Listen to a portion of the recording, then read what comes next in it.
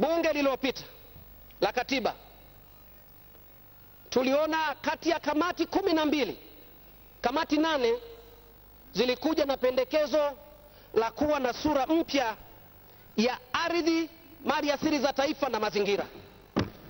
Na nilipotoka nilikuwa najiuliza zitaingiaje hiyo sura, lakini kanuni hii pamoja na zingine inatoa mlango wa kupendekeza sura hiyo mpya, na sisi wakulima, wavuvi, wafugaji, kwa kweli tumekuja hapa tukiwa na ajenda nzito hiyo kwa ajili ya haki za wakulima, wavuvi na wafugaji wa Tanzania. Nilishawahi kusema huko nyuma, nchi hii ni ya wakulima na wafanyakazi, na kwa kweli wafanyakazi wa taifa hili miaka hamsini iliyopita wamekuwemo kwenye katiba, haki zao zimekuwemo kwenye katiba, lakini haki za kundi la asili, la, la, lile kubwa lenye asilimia zaidi ya themanini ya Watanzania haki zao hazijawahi kuwemo kwenye katiba, na hivyo mimi naunga mkono mabadiliko haya ili tupate fursa ya kuchomeka haki za kundi hili maarufu linalosapoti uchumi wa Tanzania kwa kiwango kikubwa, kundi la wakulima, wavuvi, wafugaji, haki yao ya kimsingi ya ardhi na maliasili za taifa. La nne na la mwisho, Mheshimiwa Mwenyekiti, mimi nataka kujikita kwenye kanuni namba 33 na kwa kweli kanuni hiyo kumekuwa na mapendekezo kwamba kuwe na marekebisho ya muda wa uwasilishaji wa maoni ya walio wengi kutoka dakika 60 twende kwenye dakika mia moja na ishirini. Naunga mkono. Naunga mkono pia pendekezo kwamba tuwe na ongezeko la muda wa kuchangia maoni ya walio wachache kutoka dakika 30 kwenda dakika 60. Lakini nitaka niweke angalizo dogo katika hilo. Mheshimiwa Mwenyekiti, uzoefu ambao tumekuwa nao hasa kutoka kwenye bunge maalum la katiba lililopita ni kwamba kutokana na msigano wa kimakundi kulishaanza kujengeka polarity hapa ndani. Hapa tumeanza kutengeneza Urusi na Marekani, you are either with us ama hauko na sisi. Katika hili ninadhani kwamba wakati tunatengeneza kanuni na kudefine walio wachache ni wakina nani, tulishawahi kusema na hapa na, naomba tu nikote kwamba kanuni zetu za bunge maalum la katiba zina define maoni ya walio wachache, maana yake ni maoni yaliyoandikwa na wajumbe wachache wa kamati ambao hawakuafiki maoni ya wajumbe wa kamati walio wengi. Mheshimiwa Mwenyekiti, nashawishika kuamini kwamba si dhambi kuwa miongoni mwa walio wengi na wala si dhambi kuwa miongoni mwa walio wachache. Kama maoni yangu hayakukubalika kwenye kamati husika, nikitoka kule kwenye wengi leo nikaingia kwenye wachache, sio dhambi, na kesho nikitoka kwa wachache nikaingia kwa walio wengi, si dhambi. Nataka niombe bunge maalum la katiba lisimnyoshee kidole mtu awaye yeyote ambaye atasimama hapa na kuunga mkono maoni ya walio wengi, lakini pia asinyoshewe mkono mtu awaye yeyote ama mjumbe awaye yeyote atakayesimama na kuja na hoja ya walio wachache.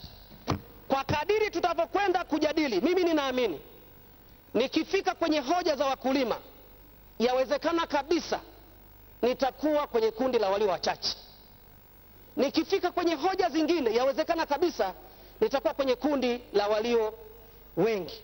Mheshimiwa Mwenyekiti, mimi naomba sana kiti kiweze kulinda mijadala na kwamba mtu akinyosha mkono kwa mtu basi aweze kushughulikiwa tu ipasavyo, kwa sababu tunalinda eh, haki ya kutoa maoni ya wajumbe ambao wako humu ndani. Nikishasema hayo, Mheshimiwa Mwenyekiti, naomba nimalizie kwa kusema mimi naunga mkono hoja iliyoko mbele yetu kwamba kanuni hizi ziweze kubadilishwa na bunge hili liweze kusonga mbele. Nashukuru sana. Asante Naomba nimwite sasa Mheshimiwa Hadija Kondo na Mheshimiwa Edith Dusha ajitayarishe. Asante sana Mheshimiwa Mwenyekiti, makamu mwenyekiti kwa kunipa nafasi hii adhimu. Kwanza kabisa namshukuru Mungu kwa kunipa uzima wa kuweza kurudi tena hapa bungeni, lakini pia ni kushukuru mwenyekiti kwa makamu mwenyekiti kwa shughuli zote ambazo zimefanyika asubuhi hii zinazoonyesha matumaini. Mimi nilikuwa na machache mwenyekiti ya kuzungumzia na kuunga mkono kuunga mkono e, kifungu namba kanuni ya 46. Kanuni ya 46, Mheshimiwa makamu mwenyekiti, nadhani ni ufunguo wa bunge hili, kwa sababu hakuna mahali kokote unakoweza kufanya kazi vizuri bila ya nidhamu ya kutosha. Haya yote tuliyapata kutokana na e, kanuni zetu kidogo zilikuwa si nzuri za kuweza kuwafanya watu wanyooke kwenye bunge hili, na hii imetugharimu kwa sababu tumedhalilika. Hata sisi wazee tumeonekana watoto wadogo, matusi na kadhalika, lakini kama heshima itatunzwa, maana yake tutaheshimika sisi wote kwenye bunge hili. Mheshimiwa Mwenyekiti, makamu mwenyekiti, ilifikia hatua wajumbe walikuwa wanasema hili bunge lionyeshwe usiku lisionyeshwe mchana, kwa sababu ni aibu kwa watoto wao. Lakini kama tutaanza vizuri na hii, na hii nafasi mliopewa ya kuweza kushika na, uh, hatamu kwa wale ambao watakaovunja sheria, basi nadhani hili bunge sasa litaonyeshwa wakati wowote na watu watakuwa hawana e, wasiwasi. Mheshimiwa makamu mwenyekiti, napenda sana kuwashukuru kwa niaba ya wakulima, wavuvi, wafugaji pamoja na wachimba madini kwa kutoa nafasi ya kuweza kupata sura mpya kwa ajili ya ardhi ambayo walikuwa wanaisubiri kwa hamu. Kusema kweli, walisononeka kuona kwamba tayari watu wameshapata hiyo sura, wanataka kuijadili, lakini bunge likawa lina mushkeli kiasi kwamba hawakuwa na uhakika kama e, bunge hili litaendelea. Lakini nadhani leo tumewapa matumaini wakulima wetu na wafugaji na wale wote watumia ardhi, na hili ni kubwa sana, kwa sababu hawa wengi wanaozungumza na kupiga kelele huku na kule si watu wanaotumia ardhi, na ukiangalia Tanzania yetu wengi ndio wanaotumia ardhi. Kwa hiyo limewapa faraja sana. Mheshimiwa makamu mwenyekiti, napenda sana kukushukuru kwa nafasi hii, lakini nilikuwa nataka kusema neno moja la mwisho. Nilikuwa naomba rai kwa wajumbe wote tulio hapa, tafadhalini sana sana sana, haya mambo ya siasa wakati wake umeshapita. Sasa hivi tuko kazini.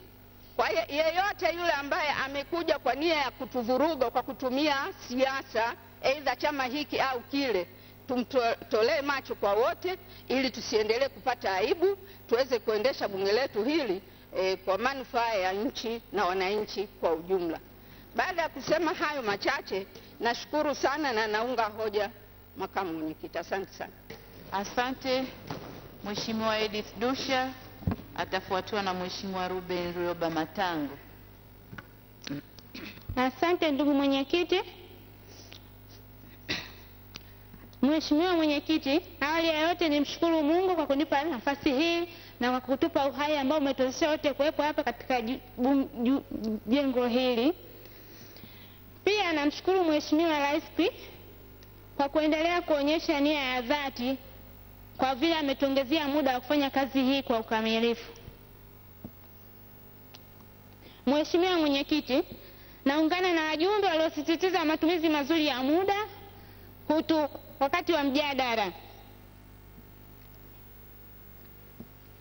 ili tuweze kutimiza lengo ambalo limetuweka mahali hapa ya kwamba tumepewa muda wa siku sitini tuutumie vizuri katika kuwasilisha masuala haya ili tuweze kumaliza muda ambayo ni lengo la Tanzania kwamba tuwaletee katiba mpya ambayo itawawezesha kupata yale ambayo wanayatarajia, katiba ambayo itatoa fursa sawa kwa watu wote kwa kuzingatia haki za watu wote wakiwemo wenye ulemavu na haki za makundi wenye mahitaji maalum.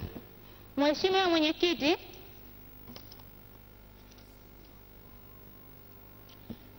Swala jingine nilitaka kujadili kuhusu kwenye kanuni kanuni ya thelathini na tatu kuhusu uwasilishaji wa maoni ya walio wengi na walio wachache. Mheshimiwa Mwenyekiti, naungana na wajumbe ambao walisema kuwa wanapendekeza kwamba maoni ya walio wachache yaanze kuwasilishwa, baada ya hapo yafuate maoni ya walio wengi. Ushauri wangu ni kwamba fursa hiyo iliyotolewa, endapo itatolewa kwamba wasilishe maoni ya walio wachache kwanza, wale wanaofuata kama ni wachache au ni wengi wasitumie fursa hiyo kwa kutoa majibu kwa yale ambayo yapo katika ile taarifa ya maoni ya wachache au ya wengi, ili kwamba tufanye lengo lililotuleta hapa. Kwa hiyo nilikuwa naomba kwamba mwasilishaji yeyote atakayefani asitumie ile fursa kwamba kwa sababu yule wa kwanza ameshaongea, basi yeye aanze kujibu yale ambayo yalikomo kwenye ndani ya ile hotuba ya mwanzo.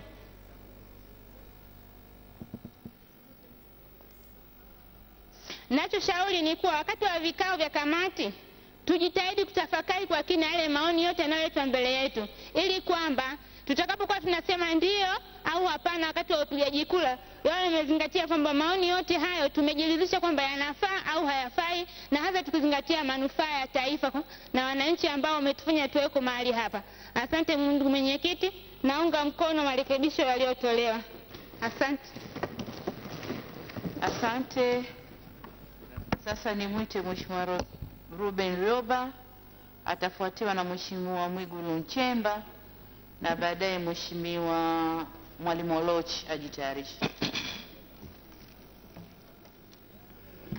Mheshimiwa Makamu Mwenyekiti wa Bunge Maalumu la Katiba, nakushukuru kwa kunipa nafasi hii ili niweze nikachangie katika huu mjadala unaohusiana na marekebisho ya kanuni ambayo yamewasilishwa mbele yetu leo.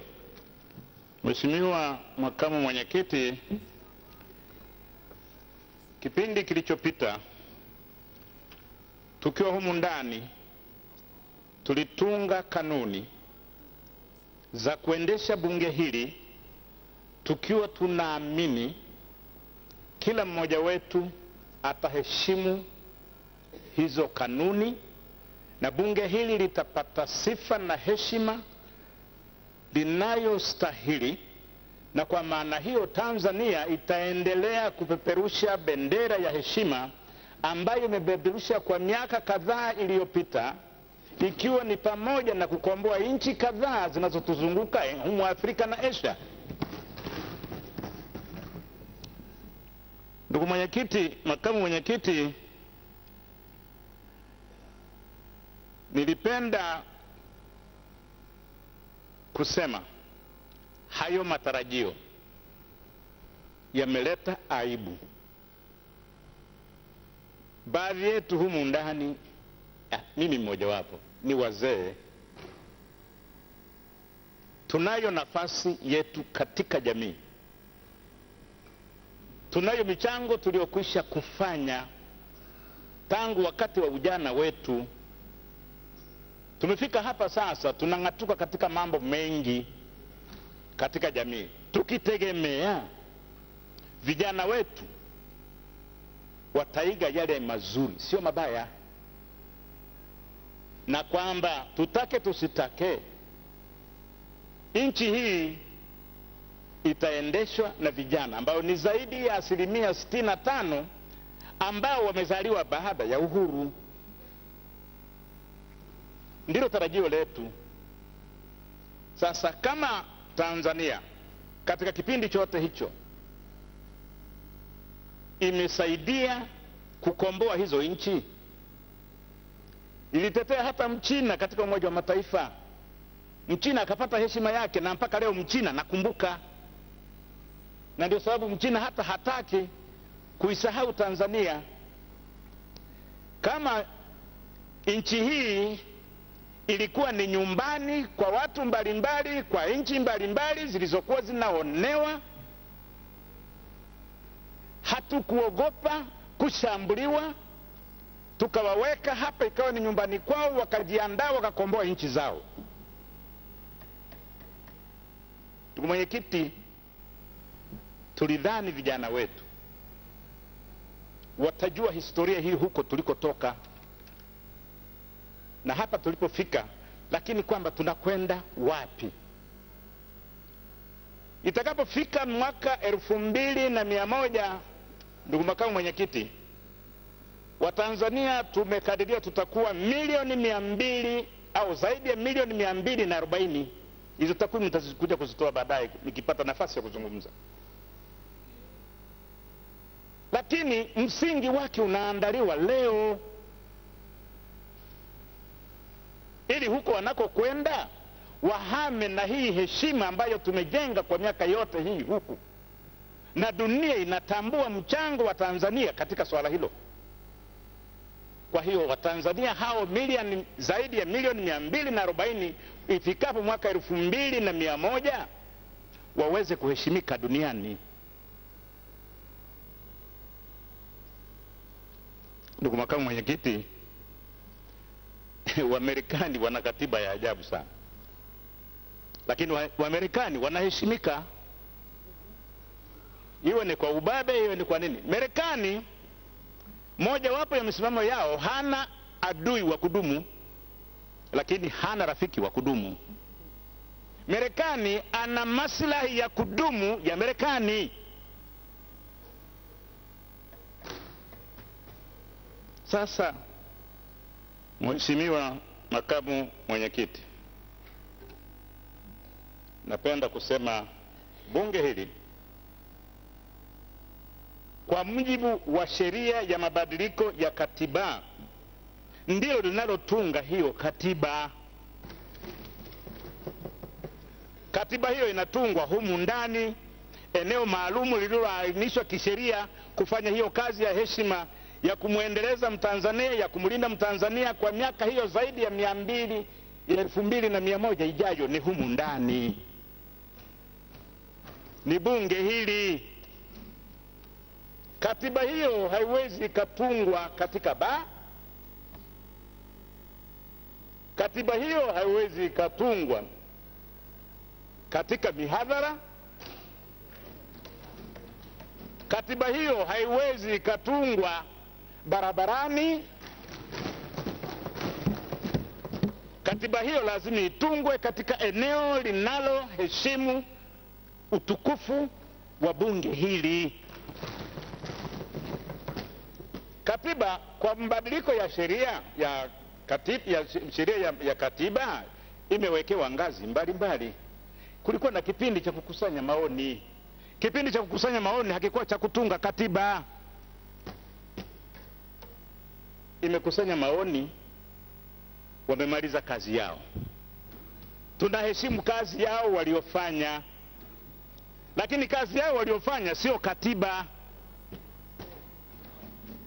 Wamefanya kazi ya awali ya kuwezesha bunge hili kutunga sheria, kutunga katiba ambayo hiyo katiba italeta msukumo wa kutunga sheria ambayo sasa itatekeleza yale ambayo Watanzania watanufaika nayo katika hiyo miaka mia moja ijayo. Mheshimiwa makamu mwenyekiti, yako mengi ambayo kule nje yamezungumzwa, yanazungumzwa. Bunge hili halijadili rasimu ya katiba, na hii sijui imetoka wapi. Waandishi wa habari, hebu onyesheni focus hapa, na wananchi kule si wanatazama. Hii ndiyo rasimu, ndio tunayojadili humu ndani. Kafocus katika hii waione, kwa sababu wengi bahati mbaya hawana uwezo wa kuipata hii rasimu wakaisoma, wanaishia mara nyingi kusikiliza yanayozungumzwa nje barabarani, katika hadhara, katika baa na maeneo mbalimbali, wanadhani yale ndiyo ya kweli. Lakini mimi nikisoma kwenye Biblia, nisamehe na niruhusu ni, ni, niseme. Mwanzo kule kwenye uumbaji. Adamu alikuwepo na bibi yetu Hawa, walipewa masharti ya kufuata, lakini kwa sababu moja ama nyingine wakatengana. Muovu shetani, muovu shetani akaja akamkuta bibi yetu pale, akasema eti mumezuiwa msile nani chochote humu ndani. Anasema hapana, tumepewa kula tu matunda yote, lakini ule mti wa kujua mema na mabaya tumeambiwa tusile matunda yake wala tusiuguse. Tukifanya hivyo tutakufa. Akasema "Ah, hakika, shetani anasema hakika hamtakufa, ila mtafanana na huyu Mungu wa huko juu. Hakika hamtakufa. Akatumia upotoshaji mkubwa sana kwa ukweli kidogo sana, na binadamu tukarithi huo upotoshaji, na wengi tumeendelea kupotosha, na yaliyopaswa kufanyika humu katika eneo hili takatifu, kama Adamu na Hawa waliowekwa katika eneo lao takatifu, unaendelea kupotoshwa katika msingi ule ule ambao shetani aliwapotosha wale watu wa Mungu. Sasa Mheshimiwa Makamu Mwenyekiti, tunalo jukumu la kuambia Watanzania ukweli, ni nini kinafanyika, ni nini madaraka ya bunge hili, sio upotoshaji ule unaoendelea kule nje. Ukweli kidogo, upotoshaji asilimia tisini na kitu.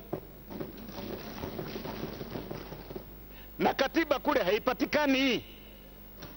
Na ni kitu gani kitakachopelekwa kwa wananchi kupigia kura ya kukubali ama kukataa? Ni ili inayotungwa humu ndani, sio nyingine. Kwa hiyo ndugu mwenyekiti, makamu mwenyekiti, mimi nikiwa naomba wenzetu ambao wanadhani kule nje katiba itapatikana waje tu humu ndani kwa nia nzuri kama Watanzania ambao kizazi chao kitaendelea kwa miaka elfu mbili na mia moja ijayo kutegemea katiba hii, warudi humu ndani. Safari moja, mwenyekiti, ni wia radhi, nimesafiri katika basi. Lile basi limeandikwa tutabanana humu humu. Mule ndani kulikuwa na wasafiri wakwenda sehemu mbalimbali, nia yao ilikuwa ni kusafiri. Mmoja ya wasafiri alikuwa amekula chakula akitegemea-. Nisubiri, niruhusu. Alitegemea atafika salama, kwa hiyo ale shibe kavimbewa, kaanza kuchafua hewa mule ndani mwenye basi. Kulikuwa na baridi, wanasema fungueni madirisha jamani, hewa ipita. Anasema hapana, kuna baridi, tuendelee tu, na imeandikwa tutabanana humu humu. Asante mheshimiwa. Ikafika mahala akajisaidia mule mwenye basi. Alipojisaidia kila mmoja akasema fungua. Mheshimiwa, asante sana. Lakini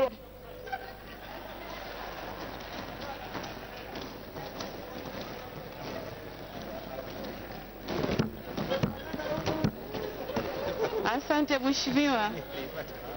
Nilimwita mheshimiwa Mwigulu, atafuatiwa na mwalimu Oloch, mheshimiwa, na baadaye mheshimiwa Aina Masawe ajitayarishe.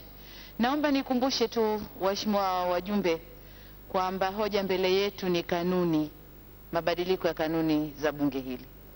Asante mheshimiwa Mwigulu. Ndugu makamu mwenyekiti, na nakushukuru kwa fursa hii ulionipa ili na mimi niweze kuchangia mjadala ulioko mezani kwetu. La kwanza nipongeze kamati yetu iliyotuandalia waraka huu na nipongeze uongozi chini ya mwenyekiti wetu wa bunge maalum kwa hatua hii ambayo tumefikia hii, hii leo tunavyoendelea hapa. Ndugu mwenyekiti na ndugu wajumbe na ndugu wa Tanzania, mimi ningeomba nijaribu kuwashawishi kwenye baadhi ya mambo machache hasa hasa wa- wabunge, wabunge, wajumbe wa bunge maalum tunavyoendelea katika kipindi hiki ambacho kimekuwa na maneno mengi yaliyo ya kweli yakiwemo na mengine ambayo si ya kweli. Kwa hiyo jambo hili limevuta hisia za Watanzania walio wengi sana.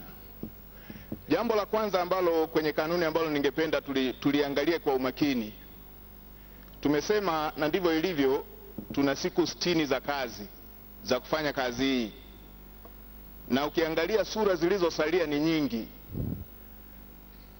Kwa hiyo kama tutapunguza siku ya Jumamosi kufanya kazi na huku tuna sura nyingi na huku tuna siku chache, tulitafakari hili tusije tukapata tabu wakati tumeshafika mwisho na bado tuna kazi kubwa mbele yetu. Hatuwezi tukarudi nyuma kama hizi siku tutakuwa tumeshaziacha bila kufanya kazi. Lakini pale pale kwenye idadi ya hizi siku ambazo tumeshasema tutaziondoa, ningeomba tuangalie mchanganuo kwa namna hii. Jambo la kwanza, bunge hili linaendeshwa kwa mujibu wa bajeti, na kwa wale wabunge wa bunge la Jamhuri, mtakumbuka tulishapitisha bajeti. Tukienda kwenye siku sitini za kazi, maana yake tunachukua Jumatatu mpaka Ijumaa, maana yake siku sitini zitapatikana ndani ya wiki kumi na mbili, lakini wiki kumi na mbili zile zina Jumamosi zake ambazo wabunge watakuwepo hapa na watalipwa. Ukizizidisha unapata siku zingine kama za Jumapili, Jumamosi na Jumapili za wiki kumi na mbili kama siku ishirini na nne. Ukiweka na siku za kazi tuna siku themanini na nne kwa tunaongelea kama miezi mitatu hivi. Kwa ni vyema sana tukawianisha na uzito wa kazi tulionao hapa.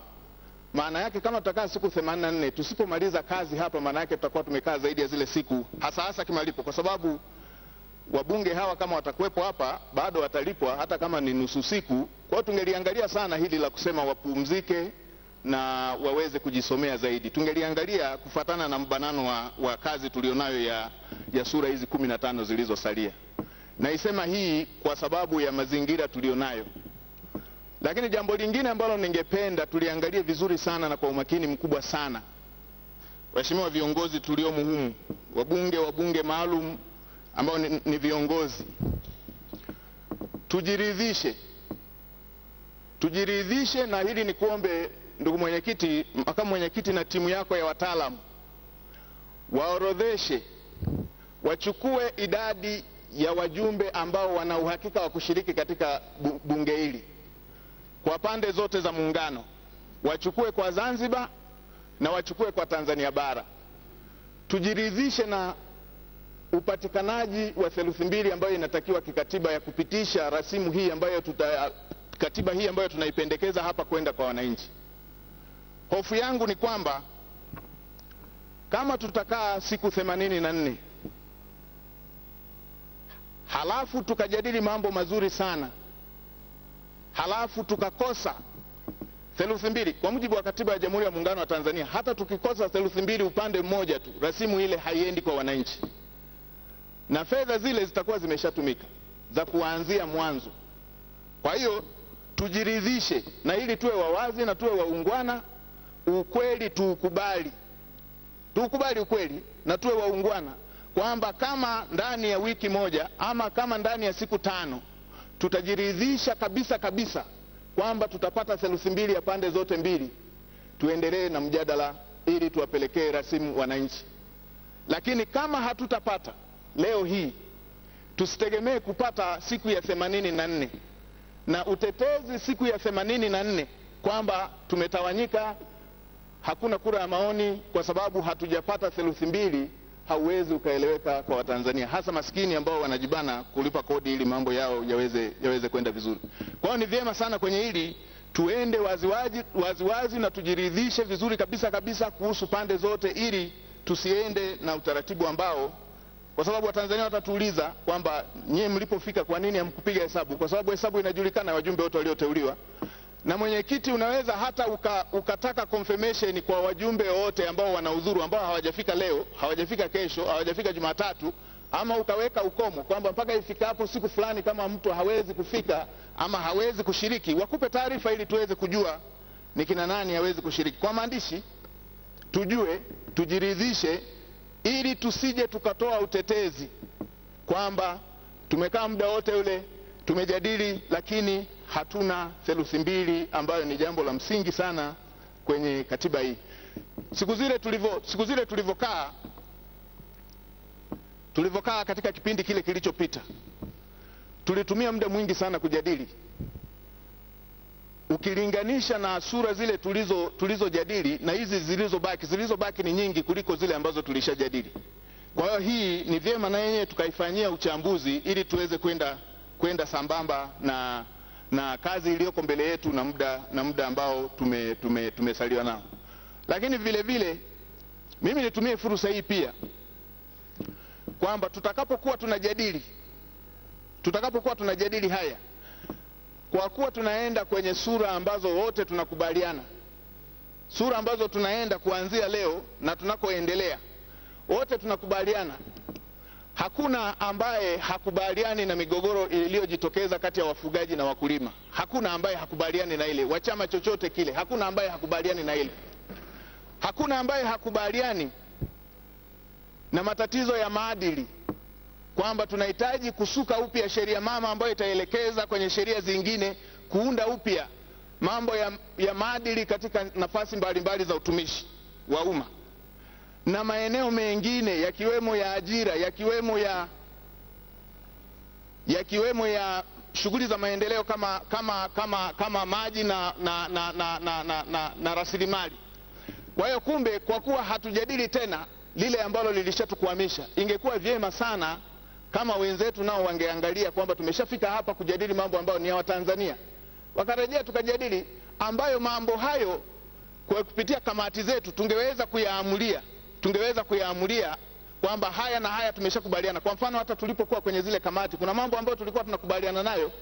Kwa hiyo tuweke pembeni yale ambayo tumeshindwana kukubaliana, lakini yale ambayo mchango wa kila Mtanzania, kila kiongozi unakubalika, tuweze kuyatumia ili tuweze kupata yale ambayo yanawanufaisha Watanzania, kwa sababu kitu mtu ambacho hakubali atapiga kura tu kwamba hiki sikubaliani nacho, lakini yale ambayo tunakubaliana kwa umoja wetu tuwe tumeshayapata ili Watanzania waweze kunufaika ule utaratibu ambao Mheshimiwa Rais kwa nia njema alisema tuweze kupata katiba ambayo inashirikisha e, watu wengi zaidi na iweze kupata kukubalika kwa watu wengi. Hili ni jambo ambalo ni la kisiasa, ni jambo ambalo ni la maridhiano ambalo tunaweza tukaenda nalo vizuri sana, lakini nisisitize sana waheshimiwa wajumbe wenzangu wa bunge maalum utetezi wa mwisho kama tutakuwa hatujaweza kupeleka rasimu hii ambayo tutakuwa tumeipendekeza kwa wananchi, hatutaweza kueleweka, na hiyo itakuwa si jambo jema, kwa sababu ni jambo la hesabu, sio jambo la, la, la, la muujiza. Ni jambo la kupiga hesabu kwamba hii tunaipata na hii hatuipati, na kama hatuipati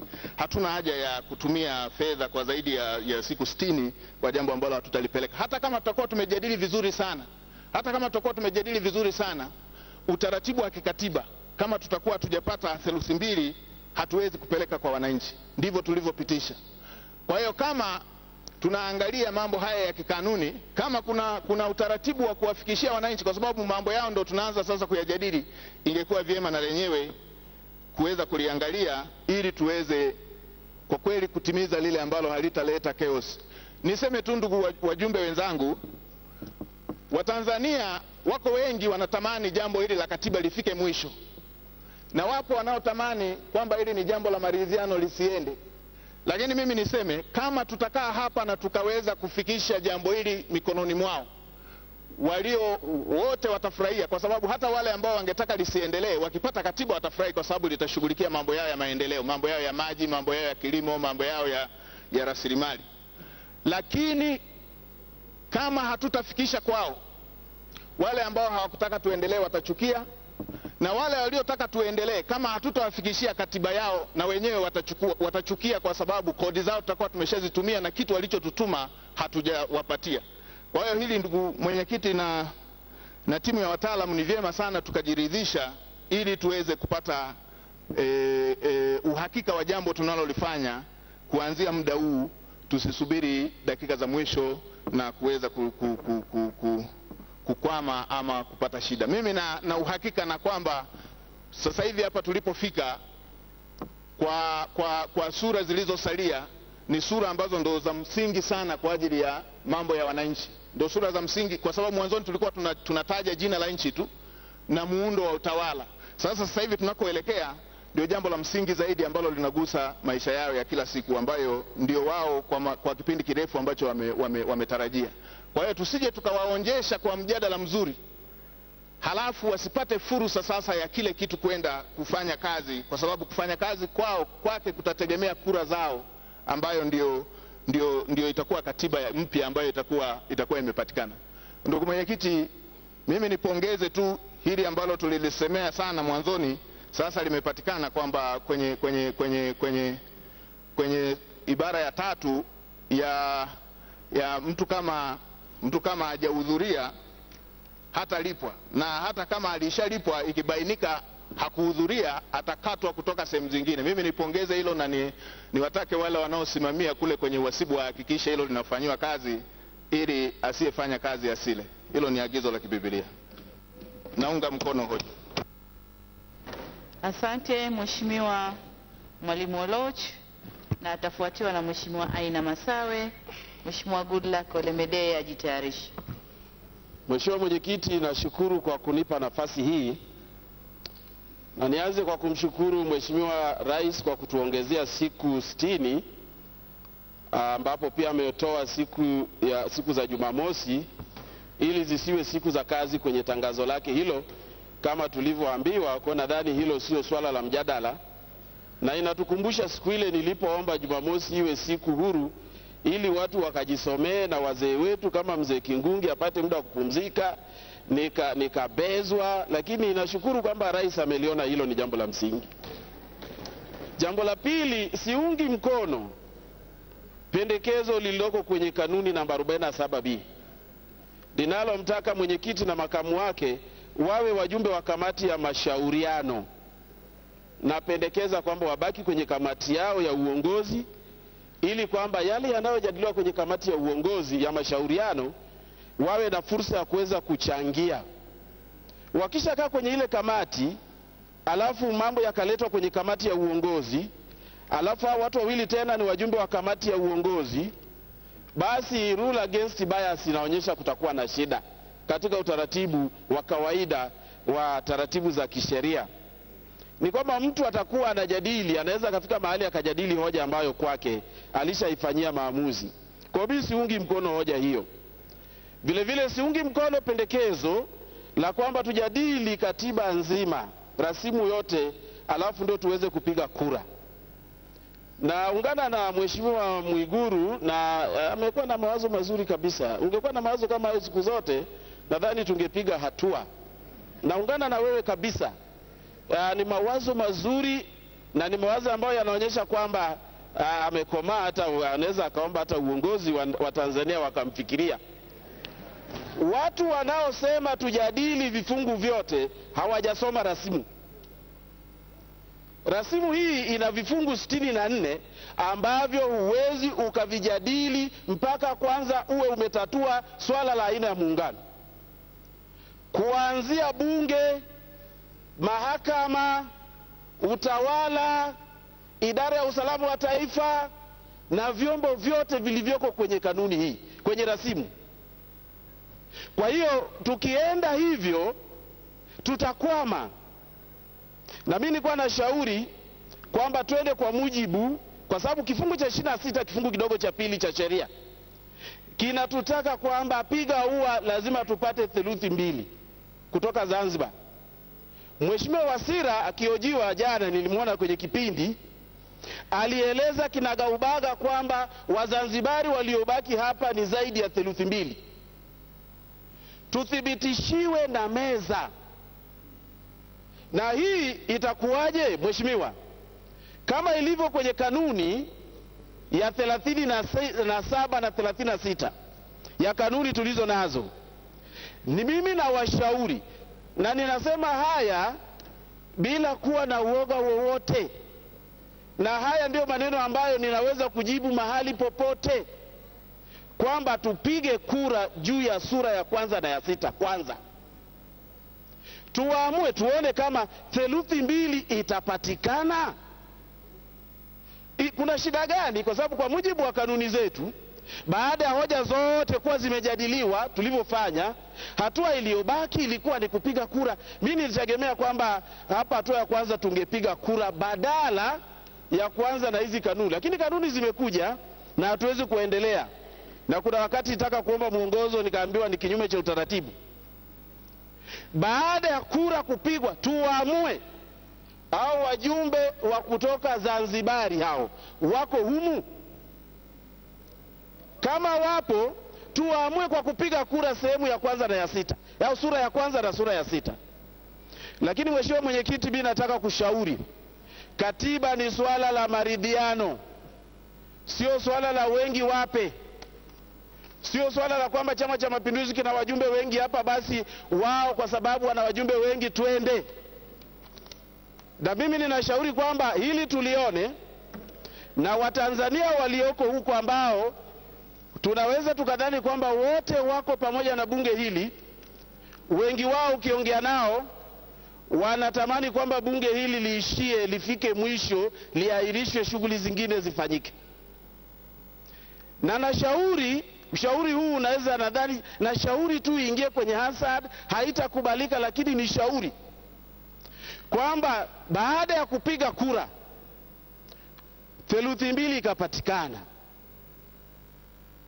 ukomo ukomavu wa kisiasa upatikane, na chama tawala ambacho ndicho kimepewa dola kiwaonyeshe Watanzania kwamba kimekomaa katika siasa, iwaambie Watanzania kwamba tunayo theluthi mbili inayotakiwa kwa mujibu wa katiba ili tusonge mbele, lakini kwa sababu tunataka maridhiano ya kitaifa, tunaona swala hili tuliahirishe, tufanye kazi nyingine, uchaguzi ufanyike, tuwe na rais mwingine ambaye atapatikana awamu ya tano, na baada ya huyo rais kupatikana, tuendelee na kura ya maoni, tukawaulize wananchi kama kweli wanataka serikali mbili au tatu na iki, iki, baada ya hapo ninashauri kwamba hili ndilo jambo linaloweza kufanyika na likatuletea amani.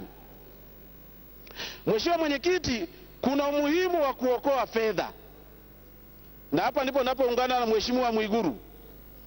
Kuna faida gani sisi kukaa hapa siku themanini na saba? Tutakaa hapa siku themanini na saba sitini za bunge, tutakapokuwa tunalipwa hapa sitting allowance elfu sabini alafu siku zingine ishirini na saba ambazo sio zile za sio zile za, za, za kazi ukijumlisha ni siku themanini na saba mwisho wa siku siku ya themanini saba tuje tupige kura hapa tusipate theluthi mbili. Tutakuwa tumetumia bilioni ishirini mheshimiwa mwenyekiti. Lakini tukienda hivi tukakubaliana tukaahirisha bunge hili hizi hela zitasaidia kuleta amani katika nchi. Hapa ninapozungumza na ninyi, waalimu wameshindwa kulipwa bilioni kumi na nane tu kwa sababu serikali haina hela, inasubiri kukopa fedha Benki ya Dunia ilipe deni la waalimu.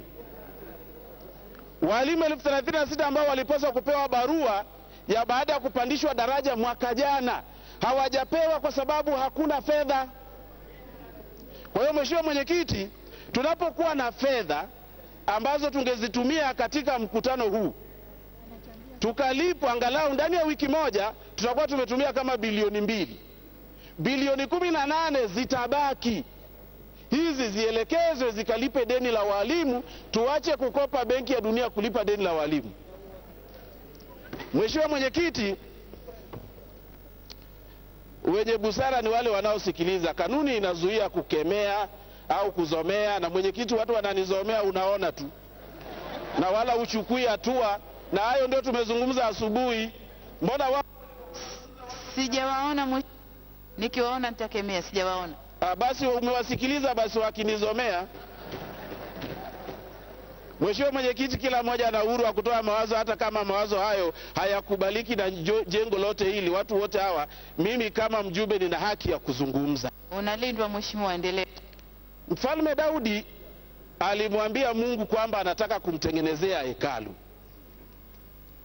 lakini Mungu akamwambia, wazo uliloliwaza ni zuri, mfalme Daudi, mazingira hayaruhusu wewe kunijengea hekalu. Umemwaga damu sana.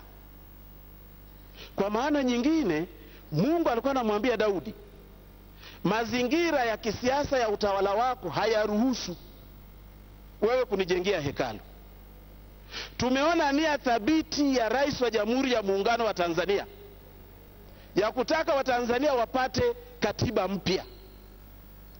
Mazingira na waliomzunguka na kadhalika, mazingira ya sasa hayaruhusu sisi kupata katiba mpya kwa mwaka huu, na kwa maana hiyo watu watazomea, lakini siku 84 zitakwisha. Mheshimiwa Mwenyekiti, apeleka kura hii itakwenda. Tukilazimisha tukapata katiba hii, katiba hii inaweza ikapatikana, lakini haitadumu. Na kwa maana hiyo, ninashauri kwa ushauri ambao nimekuwa nikitoa, ninabezwa, lakini nashauri katika jambo hili, chama tawala kionyeshe ukomavu wa kisiasa, ikubali turudi kwenye maridhiano. Na Watanzania pamoja na wale ambao walitoka. Na Mheshimiwa Mwenyekiti, kwa sababu ya muda, yako makundi saba ndani ya bunge hili na nje ya bunge ambayo hayawezi kuturuhusu kupata katiba mwaka huu. Nitataja na kengele itakapoishia ndio makundi yataishia, na nina kinga. Kundi la kwanza ni kundi la Magogoni wanaosaka urais. Hawa Samahani mheshimiwa, samahani mheshimiwa, nimemwona mwanasheria mkuu wa serikali. Mheshimiwa Mwenyekiti, nilidhani asubuhi tulikubaliana kwamba tunafata kanuni na hoja iliyoko kwenye meza yako Mheshimiwa Mwenyekiti iliwasilishwa hapa na mwenyekiti wa kamati ya kanuni. Sasa naona tunatoka nje ya ile mada na na jambo hilo jambo hilo litawafanya wajumbe wengine pia watake kutoa majibu, na nadhani haitakuwa kitu cha afya. Tafikiri tungekazania kwenye kanuni na kila mtu awe na mawazo yake aliyonayo kuhusiana na mchakato. Nashukuru. Nakushukuru mwanasheria mkuu. Mheshimiwa Oloch, uliacha dakika moja, naomba malizia. Ya mheshimiwa, nashukuru kwamba mwanasheria mkuu anatolea, ana, anatolea ufafanuzi ninapozungumza mimi tu, lakini watu wote tangu asubuhi wame, wame, wamezungumza hapa na hakuna kiti kilichowazuia. Naheshimu hayo, na kwa sababu ninaheshimu vi- vifungu vyote hivyo vingine ambavyo nimevisemea, ni tayari nimesema siviungi mkono. Kifungu kile nilichokiunga mkono tayari nilishakisemea. Na mheshimiwa mwenyekiti, naomba niishie hapo, kengele nisigongewe kengele, lakini kuna umuhimu wa kupiga kura kabla ya kusonga mbele, tupate theluthi mbili kwanza. Taarifa, Tumekusikia. taarifa iko wapi? iko huku. Aha, endelea. Mheshimiwa makamu mwenyekiti, namheshimu sana Mheshimiwa Oluochi na tunafanya kazi kwa karibu sana.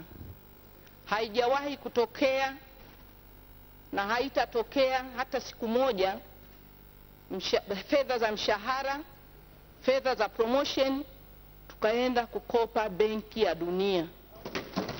Naomba asiwapotoshe Watanzania. Promotion zimechelewa kwa sababu ambazo mimi nazifahamu. Mheshimiwa Oluochi, naomba uje nikueleze ni sababu gani. Mshahara mpya umetoka bila matatizo, kwa hiyo hatuna shida.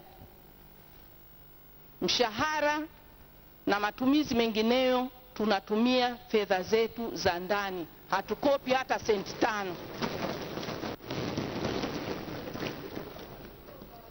Mheshimiwa mwenyekiti, nashukuru kwa taarifa hiyo, lakini nataka kueleza Sijakuita mheshimiwa, sijakuita. Ni taarifa imetolewa na tumeipokea. Sijakuita. Naomba Mheshimiwa Aina Masawe aendelee. Mwenyekiti, kwa kunipa nafasi ya kuchangia jioni ya leo. Kwanza nimshukuru Mwenyezi Mungu kwa kunipa nafasi ya kurudi tena katika bunge hili maalum, kwa maana mambo yetu yalikuwa bado kabisa hayajazungumzwa. La kwanza kabisa niunge mkono mia kwa mia marekebisho ya jedwali hili. Mheshimiwa Mwenyekiti, na nikushukuruni wewe pamoja na mwenyekiti kwa hotuba ya asubuhi. Tumepata meseji nyingi zikisema tumekuwa safi. Watu wa mia mbili na moja tulikuwa tunaogopa kusimama wakati ule, tutazomewa, tutaambiwa hatuna akili, lakini leo nimeona katiba itakuwa ya kiwango na nimwondoe Olochi wasiwasi, watarudi. Labda wewe uwapate kule urudi nao, lakini mambo ya walimu hapa nafasi hakuna, sio wakati wake.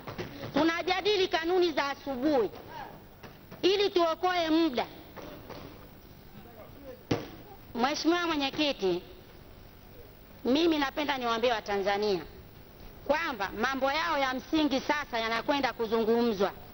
Mambo ya serikali moja na mbili na tatu tuachie wanasiasa, na kama Olochi iko huko arudi kule. Mheshimiwa Mwenyekiti, mimi nimesikia watu wakisema sana ili hii rasimu haifai kuongezwa kitu wala kupunguzwa. Kuna mambo mengi ya wafanyakazi, mimi nawakilisha wafanyakazi.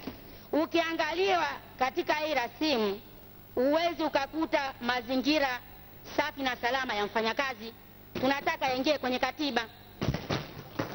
Kuna mifuko ya hifadhi ya jamii, tunataka kikokotoo kio kimoja, kwa sababu wafanyakazi wote tunafanya kazi.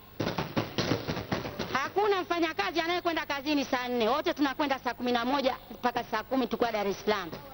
Tunaomba kikokotoo kio kimoja, ndio kitu kilichotuleta hapa. Mambo ya serikali kumi na kumi na tano hayatuhusu. Sisi mia mbili na moja tumetukanwa vya kutosha. Hatustahili kukaa na waziri mkuu, hatustahili kukaa na mheshimiwa Kabaka. Sisi sijui tungejifungia wapi. Kwa hiyo mwenyekiti, si tunashukuru kwamba tumerudi na rais ameliona hili. Kwanza mimi namwombea Mwenyezi Mungu, mheshimiwa rais wa Jamhuri ya Muungano ana moyo na Mungu azidi kumpa maisha marefu. Tulivyokuwa huko nje, unaona aibu jinsi rais anavyonyanyaswa na sisi mia mbili na moja tunavyonyanyapaliwa, kana kwamba sisi hatuwezi kununua soda, hatuwezi kula ubwabwa. Sasa hivyo vitu mheshimiwa Olochi havioni. Sasa yeye leo anakuja hapa badala ya ya, kuunga kanuni mkono, anakuja kutuambia mambo ya walimu. Watu wana madai chungu nzima. Kwa nini walimu tu? Mbona hata maaskari wanadai? Mbona hata reli wanadai? Mimi naomba Mheshimiwa Olochi arudi kwenye msingi. Usiwe unasema hivyo, wakulima wana madai yao ya, ya msingi, wafanyakazi wote tuna madai ya msingi, wakulima wa pamba wanadai. Mheshimiwa Oloti, tunaomba utuachie tutunge. Mheshimiwa, zungumza na kiti. Sawa mwenyekiti. Kwa hiyo mheshimiwa, tuache tuendelee na mambo yetu. Mheshimiwa Mwenyekiti, kwanza naomba niwashukuru wale wote waliokuwa kwenye mdahalo. Mheshimiwa wetu mzee wetu Wasira tulimwona alivyopata joto ya jiwe, lakini alizima kwa maji ya baridi. Nimshukuru sana Mheshimiwa Lukuvi, nimshukuru Mama Tibaijuka na Mwikulu Nchemba, mlifanya kazi ya ziada tulikuwa tunanuka, lakini Watanzania hawalikuwa hajui wanachoelezwa. Lakini baada ya Mheshimiwa Wasira kueleza, watu walielewa na wakajua kwamba tunapakwa matope. Manake tuliokuja huku si wanasiasa wa serikali mbili tatu na nne, kuna wafanyakazi, kuna wakulima, kuna wavuvi, yaani tuko makundi mbalimbali mbali. na niwaombe sana wale wenzetu wa mia mbili na moja waliotoroka na Ukawa warudi, kwa sababu nafasi zao zitasemewa na nani? Na ikifika siku tano, mheshimiwa mwenyekiti, kama hawajarudi tumwombe mheshimiwa rais atuongezee watu ili tupate kisemeo, kwa sababu nafasi zao zina matatizo. Afadhali bunge la jamhuri. Hii kazi ya katiba, jamani, msije mkafanisha na bunge la jamhuri, ni kazi ya kihistoria, haifanani na bunge la jamhuri. Kwanza kutunga katiba ya nchi, halafu wewe unakuja unakimbia, sijui inakuwaje jamani, mimi sielewi. Rais amekuona wala hakujui, kaona jina tu na umepelekwa na kundi fulani, wewe unaacha lile kundi lako, unatoka na siasa. Lini utagombea ubunge? Hatujui. Mheshimiwa Mwenyekiti, na kama wanategemea viti maalum safari hakuna. Tunataka waende wakagombee, sio kwenda kutegemea kiti maalum kwa sababu umetoka na Ukawa. Hatutaki, tutaingiza kwenye katiba, utakwenda kugombana na wabunge wenzako huko kama unataka ubunge. Kwa hiyo Mheshimiwa Mwenyekiti, nashukuru Mwenyezi Mungu kwa kutupa afya njema. Wenzetu hata baba yao jana, mwenyekiti wa tume amewaambia arudi, mpaka sasa hivi hawajafika. Kama mheshimiwa kama mheshimiwa Oloti anaweza kuwaambia awaambie, lakini mimi nasema naomba warudi. na kushukuru mwenyekiti kwa kunipa nafasi. Waheshimiwa wajumbe, nadhani mtakubaliana nami kwamba michango ya marekebisho ya kanuni tumemaliza, kwa sababu sasa hivi kila anayenyanyuka anatoka nje ya mchango wa mabadiliko ya kanuni, na kwa maana hiyo na wachangiaji wapatao saba hapa, lakini kwa trendi hii ya michango nadhani niite watu wawili tufunge mjadala.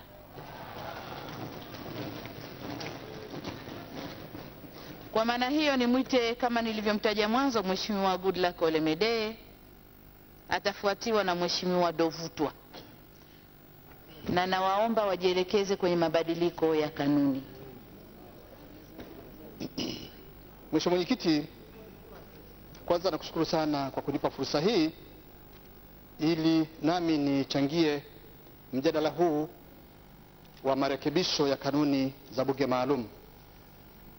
Mheshimiwa Mwenyekiti, naomba ni, nianzie kwa kumshukuru sana Mwenyezi Mungu ambaye kwa rehema zake na mapenzi yake ametujalia sote kuwa hapa ili kupitia utumishi kwa watu wake tumtumikie yeye.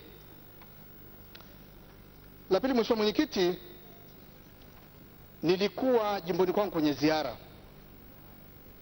Moja ya mambo ambayo nilikumbana nayo ni swala hili la bunge maalum.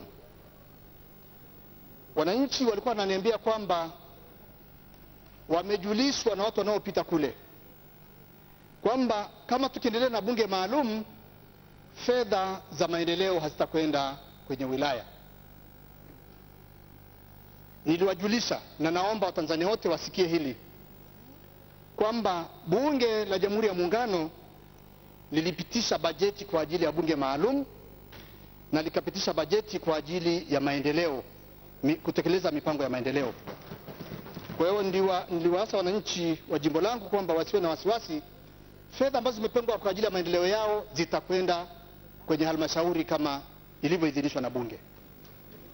Baada ya kusema hayo, Mheshimiwa Mwenyekiti, sasa naomba nijielekeze kwenye kanuni. Kwanza naomba nianze na kanuni ya 32 au kimsingi, kwanza niseme kwamba mapendekezo ya marekebisho ya kanuni yaliyowasilishwa na kamati yetu ya kanuni na yaunga mkono kimsingi. Naomba ufafanuzi kwenye kanuni ya 32. Tumeambiwa kwamba kanuni inasomeka kwamba bila kuathiri majadiliano ya sura ya kwanza na sura ya sita, kila kamati itajadili sura zote za rasimu ya katiba pamoja na sura mpya zitakazojitokeza wakati, wa wakati, wakati mmoja. Sasa nilichokuwa naomba tulipo tulipokuwa tukitunga kanuni na baada ya kutunga kanuni na, kuwa, na kukubaliana namna ya kuanza mjadala tulikubaliana kwamba tuanze na sura ya kwanza na ya sita kwa kuzingatia kwamba sura hizo mbili ndio msingi wa katiba yetu. Sura zinazo ibara zinazofuata